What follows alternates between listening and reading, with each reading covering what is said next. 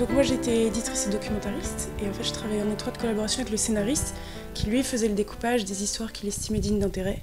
Et à partir de là, les documentaires avaient pour rôle de compléter les informations, les petites anecdotes ou les événements qui étaient relatés dans les bandes dessinées euh, pour apporter voilà, le complémentaire d'histoire et d'informations euh, euh, aux bandes dessinées. En fait. C'est là une période contemporaine, c'est plus difficile que la période moyenâgeuse par exemple? Là en l'occurrence, je me suis retrouvée confrontée à beaucoup de sources en fait. En termes même d'iconographie, bah, il y avait beaucoup de photographies.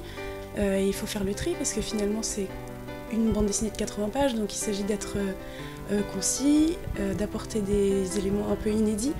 Euh, sans voilà, être encyclopédique. Donc il, fallait faire un tri qui était juste et pertinent. Euh, donc là, ça se passe de Napoléon Ier à nos jours.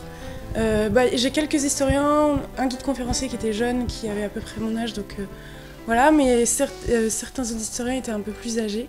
Et effectivement, ils nous racontaient, mais même pour leurs parents, en fait, c'est à quelques générations, mais voilà, la Deuxième Guerre mondiale, la destruction de Rouen, c'est encore très très frais dans les mémoires, parce que c'est à quelques générations seulement, en fait. Vous, vous avez un regard extérieur. C'est ça qui est intéressant aussi, peut-être dans l'articulation, dans les choix. Euh, oui, peut-être. Moi, j'étais juste une. Euh, j'ai ramassé les informations. En fait, c'était vraiment mon rôle de synthétiser et bah, d'éditer en fait ce qu'on me disait. Et puis c'est chouette parce que moi, ça fait qu'une seule année que je suis à Rouen, et c'était aussi une façon incroyable de découvrir la ville aussi. Rouen a une, quand même une histoire qui était très liée à la capitale. Euh, il faut savoir par exemple que Rouen, c'était la, ville sur laquelle le premier chemin de fer euh, est passé entre euh, Paris et Le Havre en fait. Et puis Rouen est devenu très près de la capitale en fait et on a subi l'influence pour le meilleur comme pour le pire on peut dire aussi. Et alors dans ce qui a été évoqué en BD quel est votre, votre regard? Parce qu'il a fallu faire, faire j'imagine quelques choix parce que tout ne pouvait pas être traité. Oui, effectivement. alors, c'est le scénariste qui a fait un super travail. Euh, il a vraiment choisi les épisodes qui semblaient euh, euh, soit un peu sensationnels, soit inconnus, soit incontournables.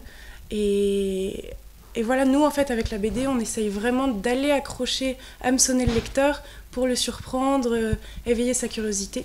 Et après, dans les documentaires, une fois qu'il est bien éveillé, aller un peu approfondir, lui expliquer, fournir les compléments d'information.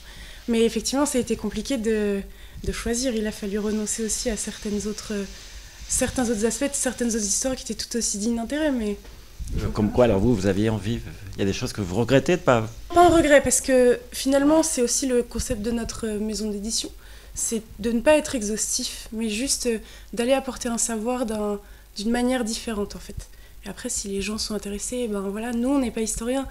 Et il y en a qui savent très bien le faire, et il y a des ouvrages euh, absolument complets sur voilà l'histoire de Rouen, par exemple, au 19e et au 20e siècle.